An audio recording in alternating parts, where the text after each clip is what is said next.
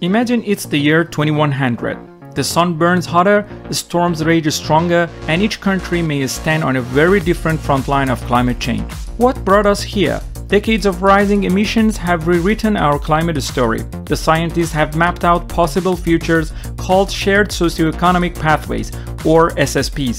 The worst case scenario SSP5 shows what happens if we keep pushing the planet's limits. Under this scenario, rainfall, temperature, and sea levels shift dramatically, but not equally everywhere. A country such as Malaysia faces a wetter, hotter world, while another one like Australia experiences drier, harsher, and more extreme weather than ever. The scientific projections are concerning, but they are not destiny.